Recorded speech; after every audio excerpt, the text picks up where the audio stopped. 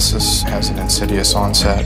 It can affect the lungs, just causes massive swelling and Elephantiasis is an extreme thickening of the skin and underlying tissue.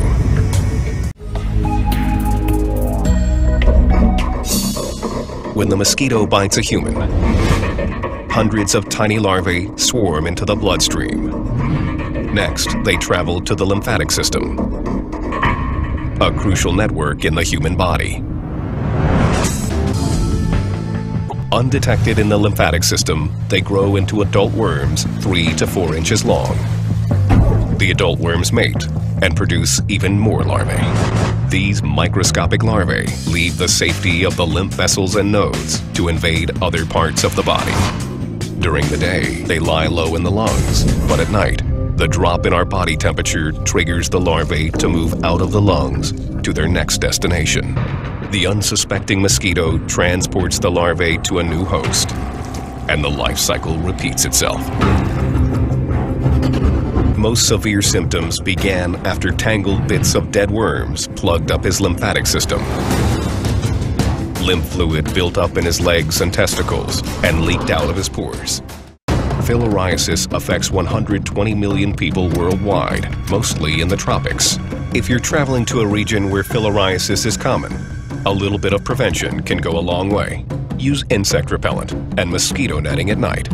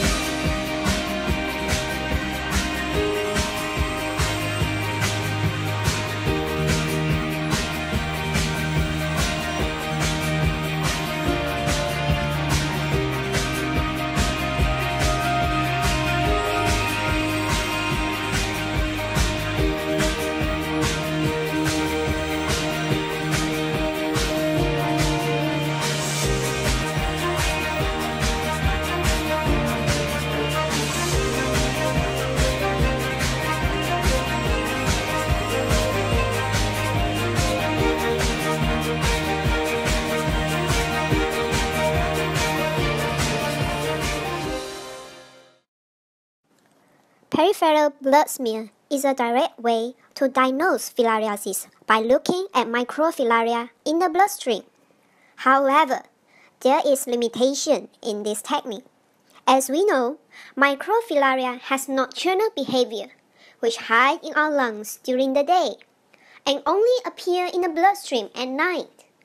This can easily yield a false negative result if the blood sample is taken at the wrong timing. The blood sampling is best to be done between 10 p.m. and 4 a.m. And this time limitation may cause inconvenience to both the patients and the clinicians. To solve this problem, recent method has introduced immunological assay to diagnose filariasis. This method makes use of the concept of antibody antigen binding to detect the presence of filarial antigen in our bloodstream. This method can be done at any time as filarial antigen can still be present in the blood even when they are hiding in patients' lungs. Immunochromatography test strip has been widely used for diagnosis purpose. It can be done by adding several drops of blood sample on the sample pad of the strip. Capillary action will pull the blood up along the strip. Formation of red line on the test zone and control zone indicates the positive results for filarial antigen.